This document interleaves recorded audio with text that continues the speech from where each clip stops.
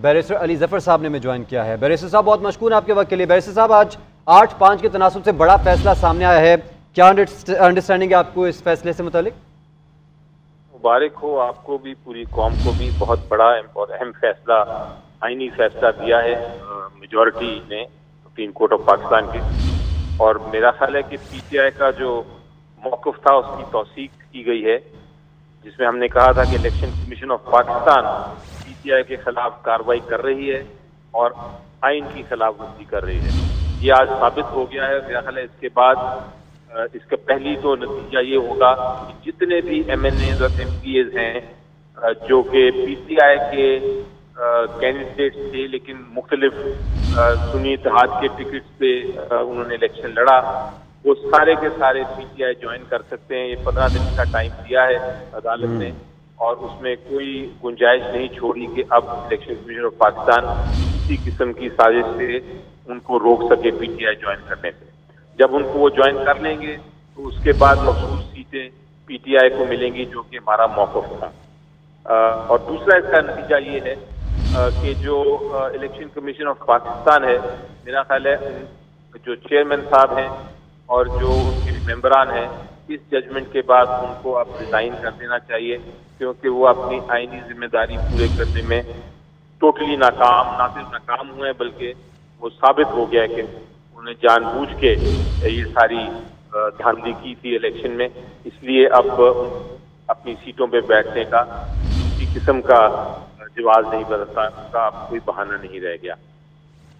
بالکل جی اچھا بیرسٹر صاحب سنی اتحاد کونسل مخصوص نشستوں کی حقدار نہیں اور پی ٹی آئی کو یہ مخصوص نشستیں ملیں گی۔ اس میں اب آپ کیا سمجھتے ہیں، وے فارورڈ کیا ہوگا پی ٹی آئی کے لیے؟ کس طرح سے قانونی طور پر آگے بڑھے گی پی ٹی آئی؟ پہلے تو ہم اس طرح ایکسپیکٹ نہیں کر رہے تھے۔ ہماری ایکسپیکٹیشن سے بھی بہتر فیصلہ آ گیا۔ ہم تو ایکسپیکٹ کر رہے تھے کہ شاید سنی اتحاد کو دی جائیں گی۔ لیکن اب کیونکہ پی ٹی آئی کو واپس ملتی ہیں سیٹیں، تو اب نیکسٹ اسٹیپ یہی ہے ہماری کہ جتنے کینڈیڈیٹس ہیں، وہ ان کو ہم پی ٹی آئی کی طرف سے ٹکٹ دیں گے اور ان کے جو ڈاکیومنٹس ہیں الیکشن کمیشن میں سبمٹ کریں گے، جس طرح عدالت نے فیصلہ سنایا ہے اس کے مطابق۔ اور پھر الیکشن کمیشن کے پاس سات دن ہیں کہ وہ سارے کے سارے جو ممبرز ہیں، وہ پی ٹی آئی کے ممبرز کو نوٹیفکیشن کر دیں۔ جب وہ نوٹیفکیشن آ جائے گی، اس کے بعد سپریم کورٹ نے کہا ہے کہ آٹومیٹکلی ریزرو سیٹس اس کے مطابق پی ٹی آئی کو ملیں گی، جو ہمارا حق ہے۔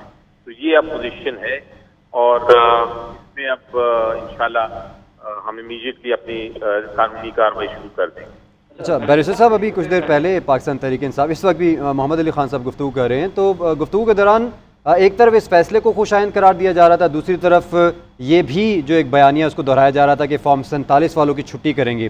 تو آپ کیا سمجھتے ہیں اس فیصلے کے بعد پولیٹیکل امپیکٹ کیا ہے؟ اب بیٹھ کے مذاکراتی ٹیبل پہ بیٹھنا ہے یا دوبارہ سے وہی طرز سیاست اپنا رہے دیکھیے جو ابھی تک ہمارا جو جنگ چل رہی ہے اور چلتی رہے گی میری نظر میں دو اس پہ فرنٹس پہ ہے۔ ایک تو قانونی جنگ ہے۔ جی۔ اس میں قانونی جنگ بھی آگے جاری رہے گی، یہ تو ایک پہلا اس کا مرحلہ تھا۔ اور باقی ابھی جو فارم فورٹی سیون اور فورٹی فائیو کے کیسز ہیں، اور جو ملٹری کورٹ کے کیسز ہیں، اور جو عمران خان صاحب کے ذاتی کیسز ہیں وہ ابھی عدالتوں میں ہیں، اور ان میں ابھی فیصلے آنے ہیں کچھ میں۔ تو وہ بھی جنگ جاری رہے گی، اور دوسری طرف جو سیاسی جنگ ہے، جو زیادہ ضروری ہے اور جو زیادہ اہم ہے، وہ بھی جاری رہے گی۔ اور اسی طرح جاری رہے گی۔ اب میرا خیال ہے جو حکومت ہے، اس کے پاس نیگوسیشن کا جو وقت تھا، وہ گزر چکا ہے اور ان کے پاس اب نہ صرف وقت بھی نہیں رہا، بلکہ جو ریزنز ہیں نیگوسیشن کے یا مقصد ہیں نیگوسیشن کے، وہ بھی ختم ہو گئے۔ اب تو سارا فیصلے انشاءاللہ پی ٹی آئی کے حق میں اور انصاف اور قانون کے حق میں ہونے والے ہیں۔ اچھا بھائی جب یہ بھی کہے گا کہ اب ہم نے دیکھا کہ فیصلہ تو پاکستان تحریک انصاف کے حق میں آ گیا ہے اور اب جس طرح کہہ رہے ہیں کہ اب کینڈیڈیٹس کو دوبارہ سے لائن اپ کیا جائے گا اور جو بھی اس کا لیگل پروسیڈنگ ہے اس کو فالو اپ کرنے کے بعد اب دوبارہ سے پاکستان تحریک انصاف اسی فارم کے ساتھ میدان میں اترے گی۔ لیکن آپ سمجھتے ہیں کہ اس سے اب جو آپ کا جو پولیٹیکل کیپٹل تھا، جو کنزیوم ہوا، اب آپ اس کو ری گین کر لیں گے اور دوبارہ سے اب سیاسی میدان میں پاکستان تحریک انصاف کے لیے اسپیسیکلی لانگ رن میں کوئی اچھے میدان بنے گا۔ جی، دیکھیں بالکل ایک تو جو کوشش تھی ہماری اپوزیشن کی کہ غیر قانونی طریقے سے نشستیں لے کے کوئی آئینی امینڈمنٹ کریں اور ہمیں یہ آ رہی تھی کہ آئینی امینڈمنٹ کرنے کے بعد وہ کوشش کریں گے کہ ایکسٹینشن بھی دی جائیں اور ایسی آئینی ترمیم کی جائے جو کہ پی ٹی آئی کے خلاف ہوں تو وہ وہ ساری جو ان کی مقاصد تھے اور جو ان کی انٹینشن تھی اور نیت تھی، وہ تو ختم ہو گئی۔ اب ہماری تعداد جو پی ٹی آئی کی تھی نیشنل اسمبلی اور پروونشل اسمبلی میں وہ مزید بڑھ گئی۔ اس سے یہ تو نہیں ہے کہ حکومت تبدیل ہو جائے گی لیکن اتنا ضرور ہے کہ ہماری طاقت چونکہ بڑھ گئی ہے تو ہم ایک اور زیادہ فورسفلی اور زیادہ طاقت کے ساتھ ہم پارلیمنٹ میں اپنے آپ کو پیش کر سکیں گے اور اپنا جو جو ہمارا رول ہے وہ ادا کر سکیں گے۔ اچھا بیریسٹر صاحب یہ بھی کہے گا ہم نے یہ بھی دیکھا ہے کہ اس کیس کے علاوہ دیگر جو پاکستان تحریک انصاف کے کچھ لیگل کیسز ہیں جو اس وقت بھی عدالتوں میں موجود ہیں. تو آپ سمجھتے ہیں کہ ایک طرف پاکستان تحریک انصاف کو سیاسی طور پر یا سیاسی مستقبل جو روشن ہوتا دکھائی دے رہا ہے، لیکن دوسری طرف جو بانی چیئرمین ہیں، وہ ابھی تک uh, کچھ کیسز میں پھنسے ہوئے ہیں. تو اس ساری صورتحال کو آپ کس طرح سے دیکھتے ہیں؟ جی، دیکھیں، یقینی طور پہ جہاں تک عمران خان صاحب کا اپنے ذاتی کیسز ہیں وہ تو نظر آتا ہے کہ وہ کیسز اب تقریباً اختتام تک پہنچ گئے ہیں۔ اس میں جو تین مین کیس تھے دو کیسوں میں تو ایک کیس تو ختم ہی ہو گیا ہے۔ دوسرے کیس کی جو سزا تھی توشہ خانہ کیس میں وہ سزا معطل کر دی گئی ہے۔ جو عدت کیس ہے اس کا فیصلہ تقریباً ہونے والا ہے۔ باقی جو کیس القادر کا چل رہا ہے اس میں حکومت کے پاس کوئی ثبوت ہی نہیں آ رہا۔ اور جو جہاں تک بیلیں ہیں، دوسرے کیسز میں وہ بیلیں ہو چکی ہوئی ہیں، کچھ کیسز رہ گئی ہیں۔ تو تقریباً تقریباً اب وہ جو سارا کوشش تھی ان کو رکھنے کی جیل کے اندر، وہ اب تقریباً ختم ہوتی جا رہی ہے۔ تو مجھے نظر آ رہی ہے اب روشنی تیزی سے آتی ہوئی۔ Light at the end of the tunnel is very much obvious ٹھیک ہے۔ اچھا بیرسٹر صاحب، جس طرح آپ نے ایک ابھی مطالبہ کیا اور دیگر جو پاکستان تحریک انصاف کی حالت کہہ رہتا ہے وہ بھی مطالبہ کر رہی ہے کہ الیکشن کمیشن جو ہے جو ان کے کمشنر ہیں وہ اپنے عہدے سے استعفیٰ دیں۔ لیکن اگر وہ یہ کام نہیں کرتے اور وہ اپنے عہدے پہ براجمان رہتے ہیں تو پھر کیا اسی الیکشن کمیشن کے انڈر آپ کا اعتماد بحال رہے گا آگے کے پروسیجر کے لیے؟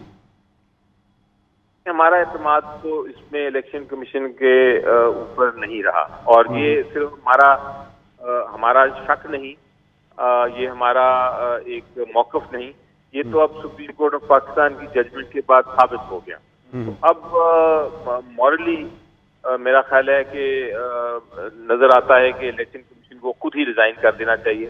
ہمارا اب اعتماد ان کے اوپر ہو یا نہ ہو اس سے فرق نہیں پڑتا۔ اب تو سپریم کورٹ آف پاکستان کا اعتماد نہیں اچھا بیریسٹر صاحب جس طرح آپ نے اس کا حوالہ دیا ہے کہ سپریم کورٹ میں الیکشن کمیشن نے جو تشریح کی تھی جو گزشتہ فیصلے کی اور اس کی وجہ سے جب وہ نشان الاٹ نہیں ہو سکا اور یہ ساری جو صورتحال تھی تو آپ کیا سمجھتے ہیں کہ یہ جو تعطل آیا، اس سے پاکستان تحریک انصاف کا جو پولیٹیکل کیپٹل تھا، وہ کس حد تک متاثر ہوا؟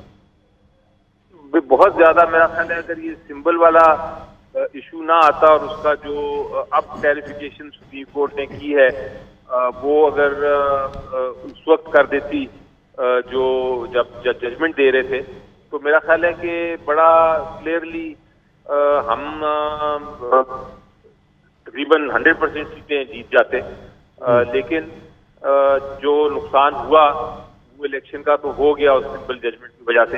اور تاریخ اس سمبل ججمنٹ کو یاد رکھے گی۔ بے شک جو مرضی کہتے رہیں کہ اس کا نیت یہ تھی یا اس کا اثر یہ تھا، وہ تو اب کلیریفیکیشن ہے۔ لیکن جو نقصان ہونا تھا وہ تو ہو گیا الیکشن کے وقت۔ لیکن ہم پھر بھی اب آگے کی طرف دیکھتے ہیں۔ اور کم از کم یہ جو ریزرو سیٹس والا معاملہ ہے یہ تو اب وقت پہ طے ہو گیا۔ اور ریزرو سیٹس تو ہمیں مل جائیں گی انشاءاللہ۔ اچھا برسٹر صاحب آپ نے جس طرح سے کہا کہ آگے کی طرف آپ دیکھ رہی پاکستان تحریک انصاف تو جو اپیرنٹلی ایسا لگ رہا تھا کہ کچھ دھڑے بندی ہوئی ہے فارورڈ بلاک بنا ہوا ہے اب اس فیصلے کے بعد کیا سمجھتے ہیں کہ وہ ساری چیزیں جو ہیں وہ ماضی کا حصہ بن جائیں گی؟ جی دیکھیں بالکل بننی چاہیے لیکن جو فارورڈ بلاک تھا اس کا میں ذکر کرتا چلوں وہ فارورڈ بلاک نہیں تھا وہ گروپس تھے اور گروپس ہیں گروپس رہیں گے۔ ہر پارٹی میں گروپس ہوتے ہیں۔ ہر پارٹی میں ایک ایک گروپ اپنا موقف پیش کرتا رہتا ہے۔ اس کا یہ مطلب نہیں ہے کہ فارورڈ بلاک بنے۔ فارورڈ بلاک کا مطلب یہ ہوتا ہے کہ آپ پارٹی سے الگ ہو کے ایک اپنا ہی پارٹی منی پارٹی بنا رہے ہیں۔ وہ ایسی کوئی بات نہیں ہے پی ٹی آئی میں نہ تھی نہ ہوگی۔ اچھا برسر صاحب جس طرح سے پندرہ روز کا وقت دیا گیا ہے تو ان پندرہ روز میں بانی پی ٹی آئی سے مشاورت بھی ہوگی۔ کیا سمجھتے ہیں پندرہ روز میں اپنے نام آپ فائنل کر لیں گے اور وہی مخصوص نشستوں کے اقدار ہوں گے؟ جی بالکل۔ یہ تقریباً یہ فیصلہ تو پہلے ہی ہو چکا تھا اور اس میں اگر تبدیلی کوئی آئی بھی تو میرا خیال ہے وہ ایک دو تبدیلیاں ہوں گی لیکن ادروائز تو یہ فیصلہ ہو چکا ہوا تھا۔ اور دوسری بات یہ ہے کہ شاید اس میں جو جو لسٹ ہوتی ہے، اس میں ایز سچ تبدیلی کرنا کی گنجائش بھی نہیں ہوتی۔ آپ کو لسٹ ایگزاسٹ کرنی ہوتی ہے اور اس کے بعد پھر آپ ایڈ کر سکتے ہیں۔